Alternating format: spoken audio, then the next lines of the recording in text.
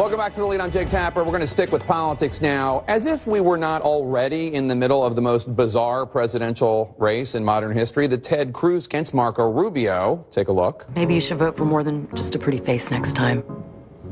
Why?